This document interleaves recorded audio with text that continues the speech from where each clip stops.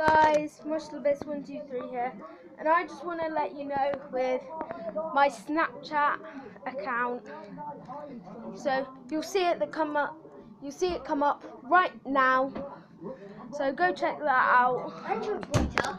and yeah, bye.